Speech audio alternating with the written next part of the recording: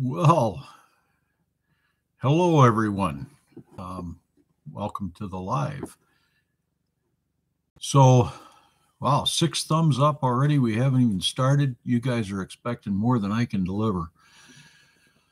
Well, as you might have seen from the title, um, I'm going to talk a little bit about a controversial controversial issue concerning the creation or the evolution of the earth and how soil science fits together with that. I got to shut off my phone here. It's it's watching the live. So, um, Country Homestead Preacher, it's good to have you here. Voon Child, good to have you here. And uh, so I'm going to start out Arkansas woodcutter. Hopefully, you're somewhere parked and safe and not uh, dealing with weather. I got.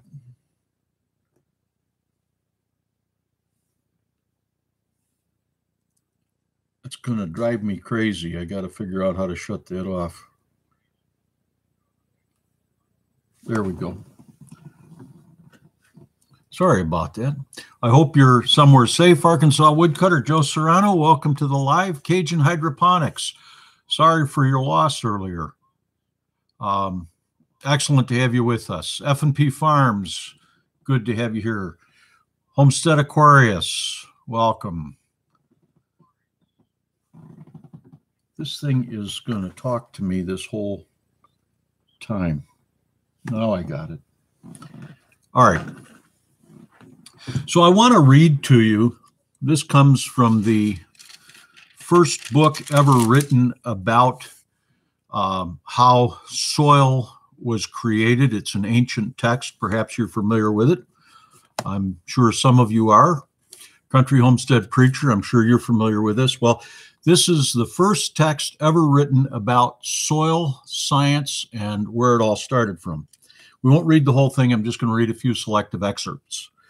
So, in the beginning, God created the heavens and the earth, and the earth was without form, and there was a void, and darkness was upon the face of the deep.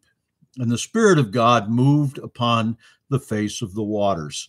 And God said, Let there be light. And there was light. God saw the light, that it was good, and God divided the light from the darkness. And he called the light day, and he called the darkness night. And the evening and the morning were the first day. Now, we're going to skip a little bit here. You can go back and read this. This is from Genesis chapter 1. You can go and read the parts that I skip, but I'm going to jump ahead to um, day three. And God said, Let the waters under the heaven be gathered together unto one place, and let the dry land appear. And it was so and God called the dry land earth, and he and he gathered together the waters, and he called uh, them he called the seas, and God saw that it was good. And he said, Let the earth bring forth grass and herbs yielding seed, and the fruit tree yielding the fruit after his kind, whose seed is in itself upon the earth. And it was so. And the earth brought forth grass and herbs yielding seed after its kind. All right, I'm going to jump forward again. Uh, we're going to jump all the way to day six. And God said, Let us make man in our image, after our likeness, and let them have dominion over the fish and the seas, and over the fowl of the air, and over the cattle, and over all the earth, and over every creeping thing that creepeth upon the earth. So God created man in his own image, and he the image of God he created him, male and female he created them. And he blessed them, and God said unto them, Be fruitful and multiply and replenish the earth and subdue it and have dominion over the fish of the sea and over the fowl of the air and over every living thing that moveth on the earth. And God said, Behold, I've given you every herb bearing seed which is upon the face of the earth, and every tree in which uh, is fruit yielding seed, and you shall have it for meat. Now I'm gonna I'm gonna stop right there, and I'm not gonna read um, any further, but I encourage you to double check everything that I'm about to say. Just go back to Genesis on your own. So there's a lot of dispute about this chapter and what it means. And as I get into soil science here, and as I start to talk about soil formation and types of soil and the um, the uh, classifications of soil, we come to a, a little bit of a problem for Christians, and that is that you always hear this expression that, oh, this took place, and then it took millions, even billions of years for the next thing to take place. Now, I'm not, I'm, I'm not really quarreling with anyone's beliefs. I, that's not my point here. My point is to show you that if we take that biblical text from Genesis and we compare that to what science knows about the earth and its creation, they fit together perfectly. You don't have to believe in billions and billions of years of evolution of the earth I actually believe that the Earth is probably around 6,000 years old. Now, I'm open to believing about 10,000 years, but if you get more than 10,000 years, there's some problems with the geology and there's some problems with the um, biology. Now, I, I know a lot of people are thinking, well, John, first of all, you know, Christianity, that's a religion, but science is science well, listen, science knows an awful lot of stuff that they have to change their mind about later on. And so I start with the scripture and then I apply the evidence and it fits together very nicely. So that's where we're going to go this evening. We're going to talk about mostly the the science, but I will make reference to how that fits in with creation uh, as we go along. So, the first thing that I want to do, well, let me stop and say hi to some people Twinbrook Farms, Walsh Farms, Simply Jan, Gail. You know what? Recyclable Homestead. I'm, I'm not going to try to do that. I'm going to say hi to everybody. And uh, if if I miss somebody, I'm sorry. I'll try and pick you up as, as we come along. But as we begin to look at soil, now I did a video this summer on on soil where I talked about soil being uh, sand, silt, and clay. But I didn't. I, I, had to cut so much of it out that um, I've always felt like I kind of cheated the video. So I want to talk about soil, silt, sand, or rather um, sand, silt, and clay. And I want to talk about how it all works together to form loam, because loam is a mixture of sand, silt, clay, and organic material.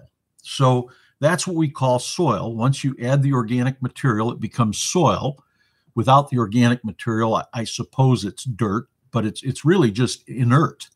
So um, the way that soil comes about in its natural evolution, and I do believe in evolution, I just don't believe in billions of years of it. And I don't believe that anything has evolved from one species to another.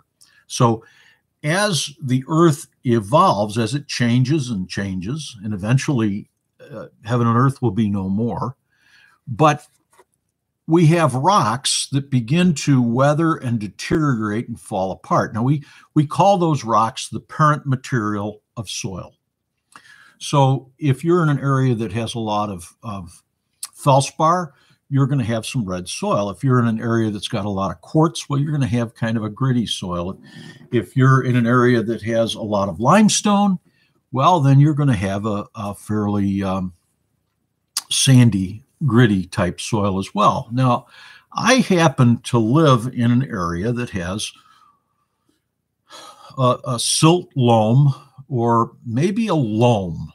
So uh, when we describe soil types, we make a triangle, and from the top of the triangle down to the left side, we have the clay um, component.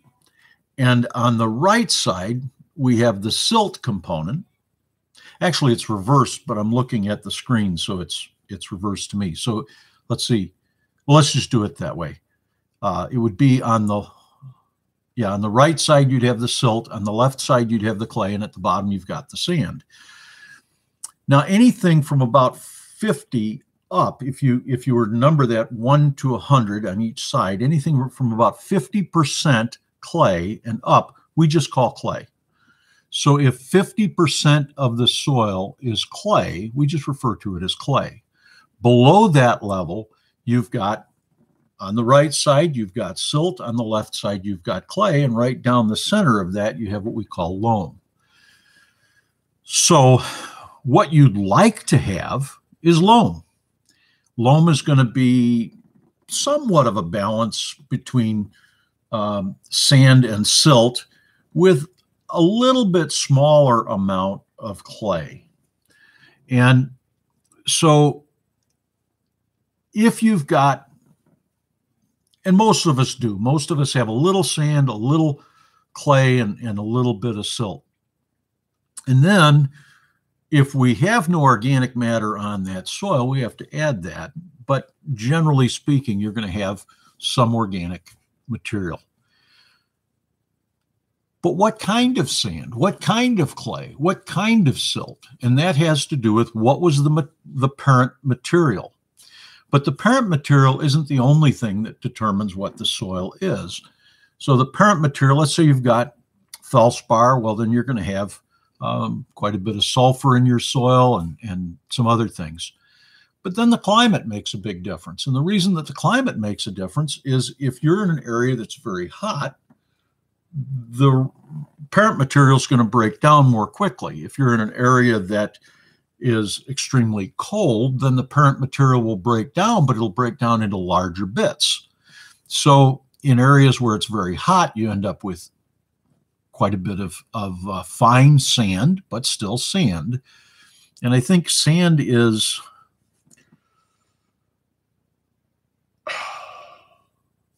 you know, I, I was going to give you the micron size, but I, I, I don't remember. So I'm not going to try to give you that. But um, it's broken down into so many microns. And so in areas where it's very hot, you're going to get a lot of that sand because the parent material is going to break off in crystals. In areas where you have a lot of cold, you're going to have larger parent material. Here in the Midwest, where I am, uh, we have quite a bit of silt. Now, I happen to be sitting in a unique area. My field used to be a peat bog. So I have what is referred to commonly as organic soil. It's no longer a living peat bog. There was a, a I'm told there was a fire in the 30s that burned the peat bog and it burned it way down deep into the soil. It burned for a year or so, just smoldered and, and created problems for a long time. Fitzpreacher Farm, welcome. And I don't think Arkansas Woodcutter, I think I said hi to you. If I didn't, hello. Yeah, I did. I did. I got you. Um, so the the climate's going to make a difference as to what type of soil you have, and then the the native vegetation is going to make a big difference because that's where you're going to get your organic material in. So if you've got a lot of trees around, you're going to have uh, a more organic soil. So in my case, the native vegetation was the peat bog, and so I've got a fairly organic soil. The other thing is the topography, and we're not going to get into that. That's soil classification. We're not going to get into that too much. But um, Grace Family Homestead, welcome. And you're not late. I'm just babbling on. Um, if you're on the side of a hill, you're going to have a different kind of soil. If you're down in a valley, uh, you'll have, if you're in an old river valley, you'll have alluvial soil. And um, so your soil is going to be different depending upon what the area around you is like. I live in a very flat area. Uh, it, I mean, anyone who's ever driven across Illinois uh, knows that there's nothing to see here. It's it's flat until you get down by the Mississippi Palisades. You're not going to see anything that isn't flat. There's a few bumps here and there, but really it's it's pretty flat. Get into Wisconsin, there's actually some pretty good hills, not mountains, but hills. But here we don't we don't have much topography. So when the floods receded, see now I'm supposed to say when the glaciers left, but really when the flood receded, remember the flood of Noah, right? That's when God saved Noah and his family and one of every creature, every living creature on the earth.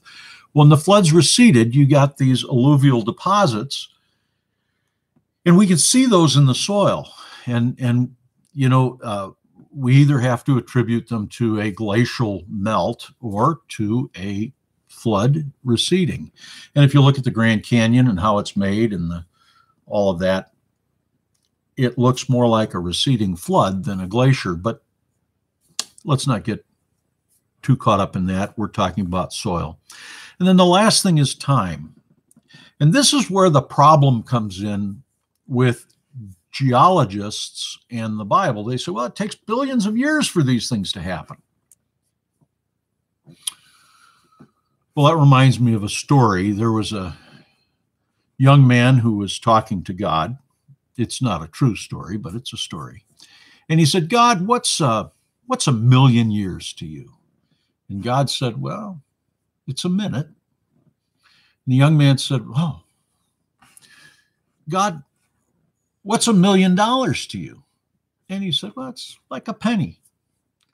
And the kid said, Well, can I borrow a penny? And God said, Sure, in a minute. God is outside of time. And so when we talk about the billions of years that it took to create the earth, God isn't restricted by that. And anybody who thinks that God is restricted by that just doesn't know the God of Abraham, Jacob, and Isaac. He doesn't know the God who sent his son to redeem the world. And so if you stop and think about what it would take for God, you know, what he did to create the heavens and the earth, he didn't just create rocks and soil and sulfur and molybdenum. He didn't just create people and animals, he created an ecosystem.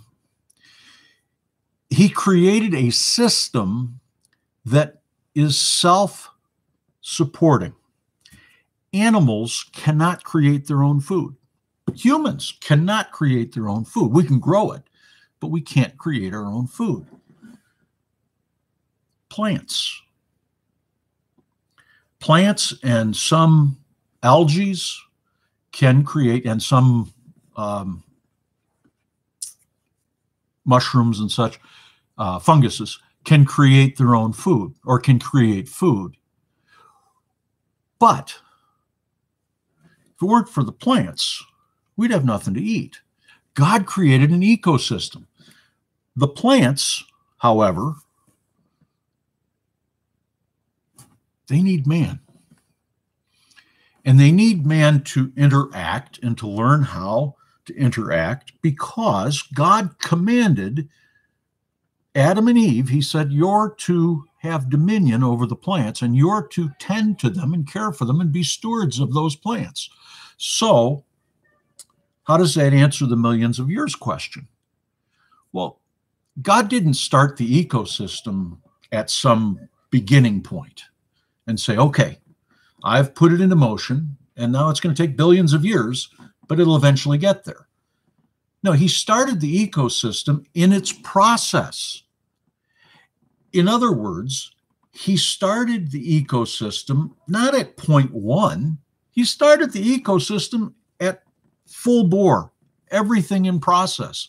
And so when God created the earth, he both created mountains and large bedrock areas, but he also created decayed rock, which is sand. He created decayed sand, which is silt, and he created decayed silt, which is clay. And so each point of that process was part of creation. And so if we look at it, it, it would look like, wow, it takes millions of years for this to happen. But in reality, God created it in process. And he had to. Well, I don't mean he had to, as in God is restricted by certain rules, but he had to in order for it to be the creation that he made. It had to begin not at the beginning, but in the middle or in the process. And the reason is each part of the ecosystem is equally dependent upon another part of the ecosystem. The plants can't survive without us. The animals can't survive without the plants. We can't survive without the plants. Of course, after the flood, then God gave permission for man to eat animals. Prior to that, in, in the Garden of Eden, if you read the story, we were vegetarians or we were to eat as vegetarians. And I'm not going to get too deep into that. I, I could, I like that subject, but I want to keep on point here with soil structure. When we dig a hole in a garden, now you can tell someone by the way someone digs a test hole, you can see how much that person appreciates the soil. If you're going to dig a hole to look at the soil, you don't just go out there and push down the shovel and dig a hole. You dig a small hole and then you chisel out, you fillet off the side until you can see a profile. Now, the soil profile can be as little as a few inches thick, and it can be as much as, well, I don't know, several feet, yards, miles deep. Uh, the soil profile goes from the top layer of soil all the way down until you hit the parent material, which is bedrock. So, in different places, you're going to hit bedrock in different areas. Where I live, we have um, rock plates um, right at about 35 feet, uh, we have bedrock. And I know this because when they drilled our well, they had to stop at 35 feet. They couldn't get any further, and the geology of the area says that that's as that's as deep as you can go. So uh, we have a 35 foot deep well, and um, what that means to me is that's where my water tables going to be at. Between that bedrock and somewhere above that is where my water table is going to be. So, if you were to dig a hole in my backyard to look at the soil, soil profile, the first plane or first um, horizon of soil that you're going to see is what we call the O horizon. Now, geologists don't use the O horizon. A geologist is going to have an A horizon, a B horizon, and a C horizon. And then he may put in an E horizon somewhere along the lines. But a plant person, so uh, if, if he's a soil scientist or she's a soil scientist from a plant perspective, you're going to have an O horizon. The O horizon is the organic horizon. Now, in most cases, the organic horizon is only a few inches thick because it has to stay aerobic. Uh, once you get below um, the area that can stay aerobic, you're going to have soil down to that level. And then from that level on, you're, you're going to have subsoil or dirt. And the reason why I say that is you're not going to have anything, any living biology in there, so it's no longer really soil. But the subsoil is going to be a reflection of that organic level. So the the um, the A horizon is going to be your let's call it your topsoil. And then your B horizon is your subsoil. And oftentimes separating these horizons, uh, not the O from the A, but oftentimes separating the A from the B, you'll have an alluvial layer. Or perhaps you'll have an alluvial layer between a B horizon, and then you'll have another A horizon underneath that. We refer to that as A2. And you'll perhaps have a B horizon under that. We call that B2. Now, what the B horizon is where the clay starts, where you start to find large deposits of clay. So some of you may be plagued with the idea of you don't really have an O horizon or an A horizon. You just go straight to B. You've got that clay layer. And um, uh, there's a name for that that's called a lenticular soil. So what a lenticular soil is, is it's plates of soil that stack on top of each other. And that's how clay sits. It's it's like plates of of clay and they're thin. And this is why it's so hard for water to penetrate. Now clay will hold a lot of water, but it's hard to get it to penetrate. Canadian proud out proud get outdoors. Welcome. Thank you for coming in. Um, so that um, lenticular soil doesn't let the water through it. And that's the problem with clay soil. But we're going to talk a little bit about what you can do about clay soil. But remember, I said that loam was a mixture of sand, clay, and silt. So if you've got clay, shouldn't you just add sand and silt? No. And and the reason why is you're not going to be able to add enough sand and you're not going to be able to add enough silt.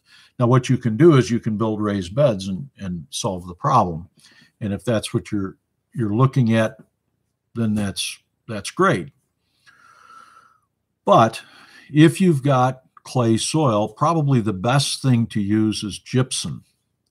Um, gypsum is calcium sulfate, calcium sulfide um, without water. I can't think of the, the term for that. Hydrate, dehydrate. So it's calcium chloride dehydrate. Well, the calcium is just sort of an unnecessary. I mean, it's necessary, but you've got plenty of it in your soil. It's um, it's the the chloride that you want in there to break up. You'll create a um, you'll create strata within the within the clay. It'll break it up. So gypsum. The other thing you can use is sulfur will break up clay to a certain degree. But if you've got really hard pure sulfur, it, it's going to be difficult. Um, and then, so if, if we think of these strata though, what we need to do is think about, well, how do we build up if we don't have, if we've just got the clay and we want to build up a topsoil, we need to add the uh,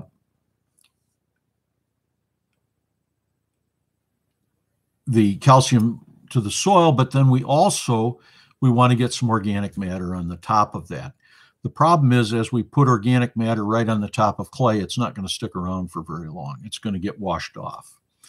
And this is, I, I think, um, maybe I'm maybe I'm making a joke here, uh, but what do Ruth Stout and Charles Dowding have in common? Anybody know who Ruth Stout and Charles Charles Dowding are? And what might they have in common? Well, you think about that. Yeah, Amy, um, sheetrock is um, gypsum. So you just you need to take the paper off it. Well, I don't even know if you need to take the paper off it, but the uh, the gypsum is is in the middle. Crazy, uh, Amy's correct. No dig, and so I always say, well, the thing that Ruth Stout and Charles Dowding have in common is they have clay soil, and that's why they don't want to dig. Um, Arkansas woodcutter says they're old. Well, I think one of them's still alive. I'm not sure if if uh, I'm not sure if Ruth Stout is alive. I know she seemed old in the 70s when I first started reading uh, in Mother Earth News about Ruth Stout. But um, the idea that they had was to just pile organic material on top and grow through it. And it, it can work. And if you've got a clay soil, it, it might be it might be something workable for you. Uh, I'm not a big fan of it, and maybe one day I'll talk about why. Um, and maybe the two and a half acres that I garden, that might give you a little bit of an idea as to why I don't care for adding that much organic matter. It gets a little expensive. But um, oh, I got my note here. I just found my notes. So if if you think of um, sand, sand is anything greater than 0.5 micrometers to 2 micrometers or micrometers, depending upon where you come from in the country.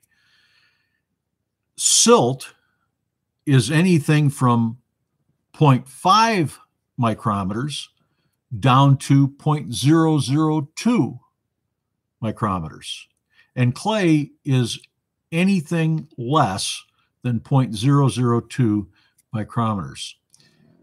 So we're talking about you know sand being about the thickness of a hair to about maybe the thickness of what would be four hairs and silt gets down below the thickness of a hair so uh, clay is actually very thin now the good thing about clay is that clay has a very high cation exchange capacity. And the, the cation exchange capacity is the ability of soil to hold nutrients, but it's also the ability, it's the ability for them to hold the nutrients and it's the ability for the plants to get the nutrients from the um,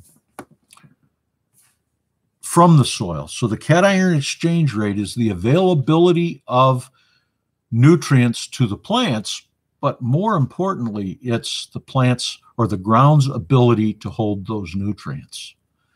So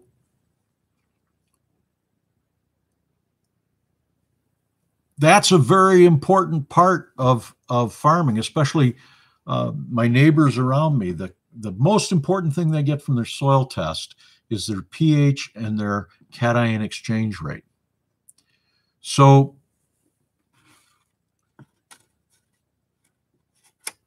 Um,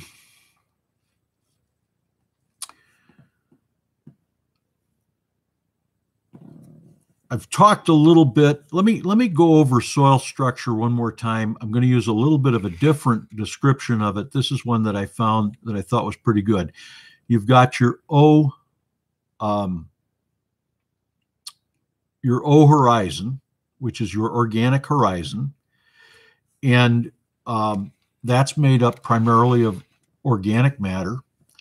Then your A horizon, and for a farmer, uh, for a, a, uh, a dirt farmer, that is the plow layer.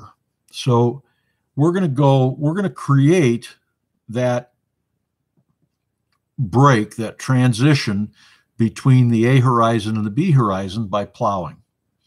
And so wherever the bottom of the plow sits, the bottom of my plow sits at seven inches, I'm going to get a plow pan, and that's going to be the end of my A horizon. So if I continue plowing year after year after year, my A horizon is going to end around that seven inches. And then I'm going to have sort of a, it's not really an alluvial level, but I'm going to have a transition point. I'm going to have some, uh, as I plow, some of the heavier material is going to drop out of the tillage and it's going to land on that seven inch mark that I'm plowing to. And that's going to create a plow pan. So now I've got to go through with a chisel and open that up, cut through that plow pan so that water can drain through and so that the roots can get down into that lower level because the roots of your plants will grow 7, 14, 20 inches long. Corn believe it or not, corn will grow as fast going down as it goes growing up. You get just as much root down as you get up until you hit about three feet. And then the roots start to grow horizontally more and they, they don't have quite as much vertical growth down. Your tomatoes will go 36 inches deep in the soil. You won't be able to pull them up and pull 36 inches of roots, but if you're able to carefully dig down like a soil scientist and study those roots and look for the fine root hairs that are coming off of it, they, they could make it down into that level. But if you've got a plow pan where all that hard material's fallen out and you've created that pan, or you have an alluvial level, a natural plow pan, you've got to break through that. Or if that plow pan's at seven inches, that's as far as your roots are going to go. And then you get some dry weather and you're going to have a big problem. So, um,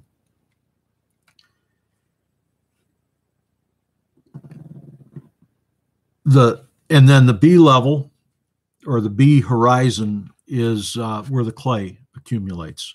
And then down below that, you've got the C level, and the C level really breaks up into two spaces as I think of it. The first is the already deteriorated, broken up. That's the gravel. And then you've got the bedrock, the, the large parent material of the soil. Um, so I'm catching out of the corner of my eye that Jacko's talking about no dig and no plow. And maybe that conversation's been going on a little bit. I am not a, in my setting, I am not a believer in no dig. Um, now, if I were living down in Georgia, I would probably that that would probably be something that I would be interested in trying. You've got clay soil. If you can build up your organic matter on top of it, build up some some of an A profile on top of that uh, clay, then you can possibly begin to actually get microbes that will dig down into that soil. And if you've got red earthworms in your ecosystem, they'll dig down in that soil, and so will any of your um, any of your bugs, cicadas, and that kind of thing dig down. And they break up that soil, and then what happens? Um, there's a name for that, and I can't I can't think of it offhand, but they they burrow holes down, and then silt and sand fall into those holes, and that allows nitrogen to come up and water to go down. One of the one of the problem and roots to go down. One of the problems is, hi Lori. One of the problems is that when you have that plow pan, specifically nitrogen will still go through that clay. It'll pass right through it. Now, clay has got a good cation exchange capacity, so it'll hold on to a lot of it, but unfortunately, the roots can't get it. So you need that clay to be broken down so that and and mixed into the soil. You need a loam soil where that's all mixed together.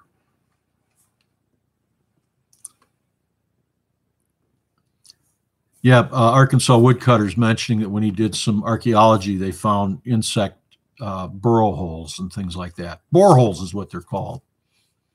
Um, so, so that's kind of how soil structure goes.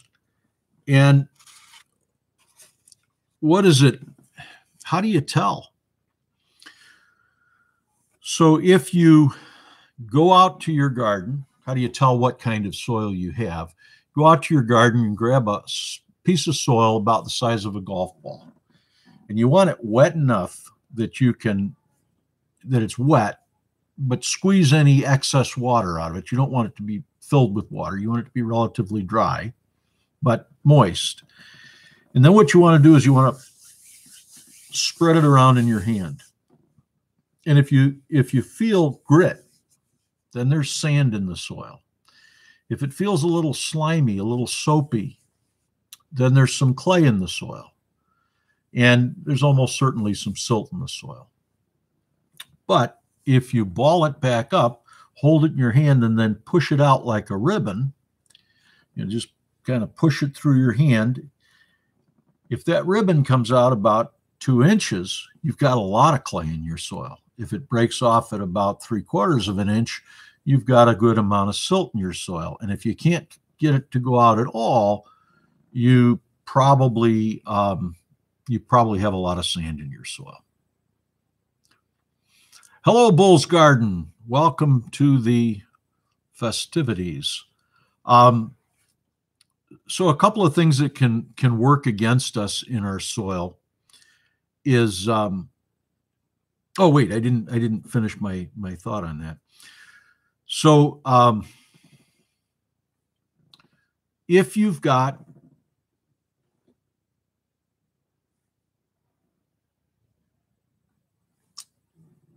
if you look at the profile of the soil, and I'm talking about in your your B, the A profile and the B profile, if you look in it and you've got a lot of small square chunks of dirt. Now, this is when the ground is relatively dry, and you kind of break it off. If it breaks off in in kind of angular square clumps, kind of blocky clumps, um,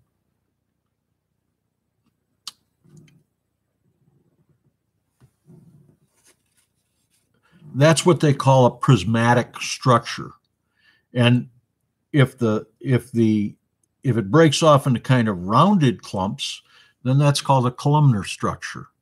And the difference between them is the columnar structure is an older soil, it's more broken down, it's more um,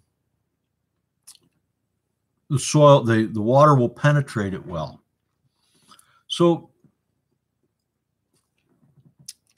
a lot of interesting facts or ideas here, but what do we do with it? So, the main thing for you and I, the main thing that we can do is try to amend the soil using organic material or using minerals. And there are there are a couple of things. We mentioned drywall or gypsum uh, also known as plaster of Paris. Now, plaster of Paris is unfired gypsum. Um, wallboard is fired gypsum. Doesn't matter. Kiln, kiln fired. It doesn't matter. Once it's burned, it's no good. But either of those uh, will help to break up clay soil because it, it adds an aggregate that's just slightly bigger.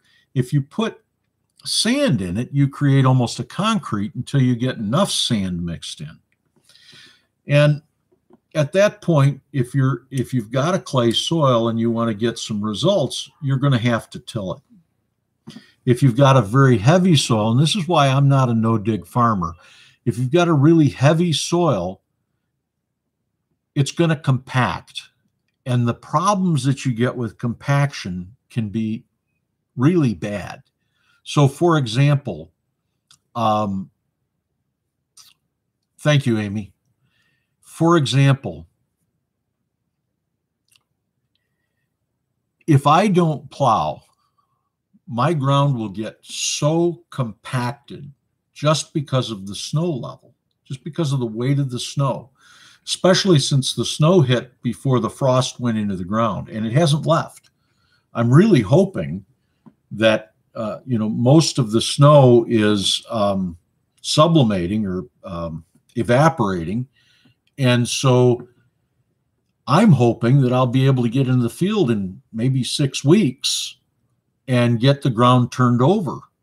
Now, the key is you you if you bottom plow, you've got to plow it and then you've got to probably till it at least twice to get it workable and then maybe rototill it one time. If you till it too much, you make it too fine and then it compacts again. And if you till it when it's wet, it'll compact. So the decision to be a no dig or a dig gardener is mostly based on the type of soil you have. And in my opinion, or not my opinion, in my experience, what I have experienced is the more organic material you have in the soil, the more necessary it becomes to turn that soil over. Now, to give you an idea, and I've said this before, I've got 24% organic material in the top 14 inches of my garden. 24% organic matter in the top 14. Average soil is 6 to 8% organic matter. And the reason I have so much organic matter is because this was a former peat bog. Now, if you go north of here a little bit, they have ground that they just simply call organic soil, and it's got over 30% organic matter in it. Well, the problem is, you know, just think of what what peat moss does. If you um, if you plant your seeds directly into peat moss, the peat moss will soak up all of that water and it'll hold on to it. And we've got the same thing here. And so we need, and, and then when it dries out, it'll be hard and compact. And that's why we put perlite in with the peat moss to keep it aggregated and broken up. Um, so at the end of the day, the choice to till or not to till is all yours. Um, I till because I believe I have to, and I believe I have to because in the past when I haven't, I, I end up with huge problems the next year. One of the problems is the ground is so compacted that things won't grow in it. And of course, compaction is also a result of overtilling. So I understand the arguments. Um, the other problem that I have is if I don't till, I get standing water. Uh, if you till too much, you'll get standing water. I get it. But the biggest problem is if you've ever had a garden in the Midwest and you've tried to keep it weeded, about the only way you can keep that weeded is through some sort of tillage. Now, shallow tillage will take take care of a lot of the annual weeds, but to get rid of those perennial weeds, and I would have if I didn't if I didn't plow, I would have because for years I only plowed every other year, and I found that I have to change that. I'm going to plow every year because when I plowed every other year, the year that I plowed, I'd have less weeds. The next year, I'd have more weeds. And so it really is, I think, a net benefit to, to till. And for those of you who are not tilling and it works for you, I've seen videos of people that say they don't have a single weed. And I watch Hoss Tools. He says, Well, we don't really have weeds. Well, I have a lot of weeds. I, I, if I could sell weeds for 0.10 cents a piece, just amaranth, just amaranth alone, I'd be a millionaire. All right. I'm pretty much finished with my presentation. Pete's Little Homestead, hello.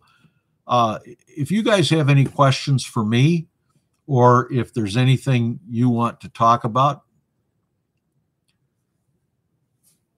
go ahead and, and let me know. I'm going to look back in the chat a little bit to see what I was overlooking and ignoring, not meaning to.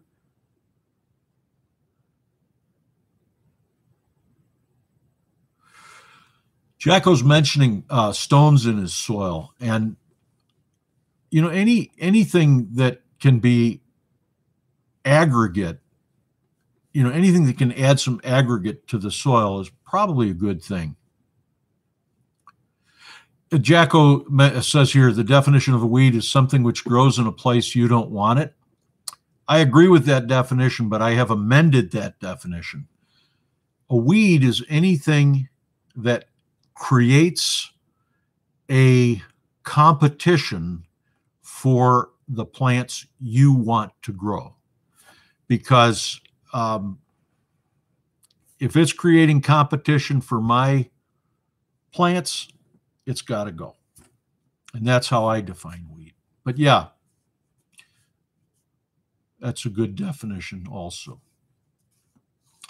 Hey, uh, Lori's World or, or Amy, somebody, could you put the website for um, Shed Wars up on the screen?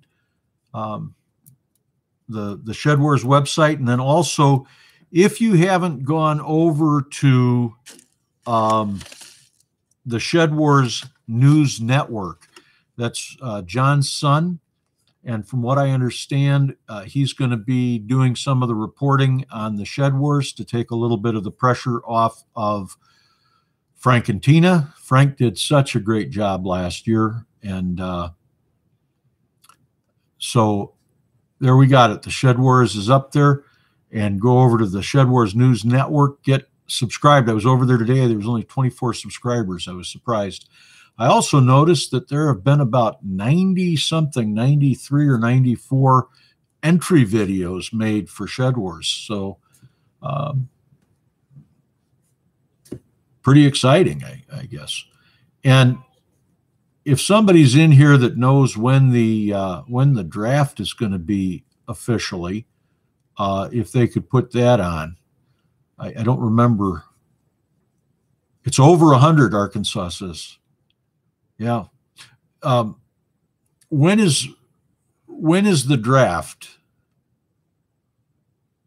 So Jacko says chard has become a weed. You know what becomes a weed to me is tomatoes. Um, Gail says March 10th and 11th. So a week, a week away. All right.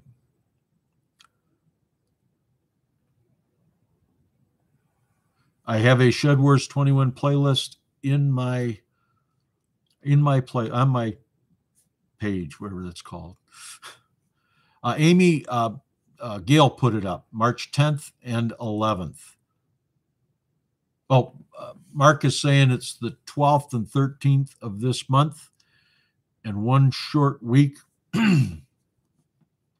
we'll have the draft, and then the season starts on the 23rd.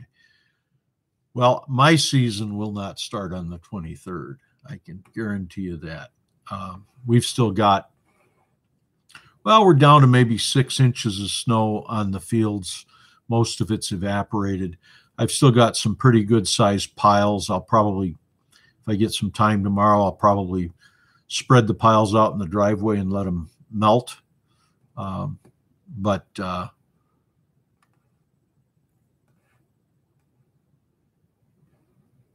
Very good. Um,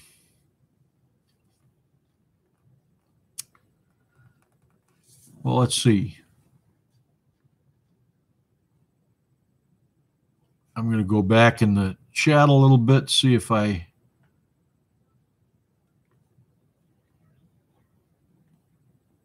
missed anyone or anything. Thank you, Amy. Amy wrote down that this was good information. I, you know, I hope you can take some of these random ideas and and make use out of them.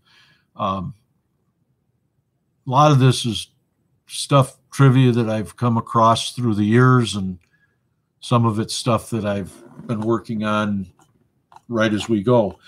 Um, I'll also give you a little bit of an update. Uh, Sunday, I've got a, a video coming out. Um, most likely. Uh, and in that video, I'm going to be talking about my germination chamber. I've made a few adjustments to it. I installed that circulator fan that I was talking about, and I'm having a problem with too much humidity. So I'm going to have to add a heater besides the fish tank heater, something that will heat um, heat the the chamber and with less humidity. So working on that. Um, Homestead Country Homestead preachers says enjoyed the live, very good stuff. Thank you. And um, if you haven't been over to Country Homestead Preacher's site, uh, I think isn't it six six o'clock is when you have your Bible study? Put it down there. Let people know. Um, I, I enjoyed the other day when I got onto a little bit of it. I'm usually not home in time, but uh, when I can get on there, I will. And suppose there's no reason I can't watch them afterwards. I haven't been doing that, but perhaps I can. Yeah. 6:30 daily Central Standard Time, Country Homestead Preacher. It's good stuff. Uh, the other day he caught my eye with a post about Dr. Seuss, and so I went on there and I listened to what he had to say, and real level-headed, good stuff. So I appreciate it. Thank you, Country Homestead Preacher. So, who else is in the house here that I missed? I think I said hello to everyone. Um, we were 35 today for a high. They said it was supposed to get up to 40, but it didn't. At least as far as I know, it didn't. Um, so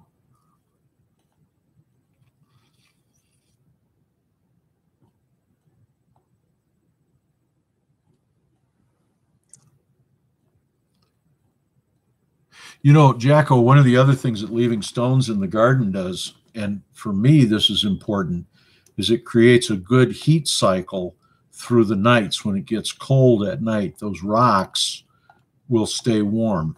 Now, as someone who does a lot of tillage, um, that's a, can be a bit of a problem because the rocks can get up in the tiller. Jan is asking, Where's Mother Goose? She's sitting over on the couch. I don't know if she's watching the live or not. She's been working a lot lately, and I think she's kind of tired out. So,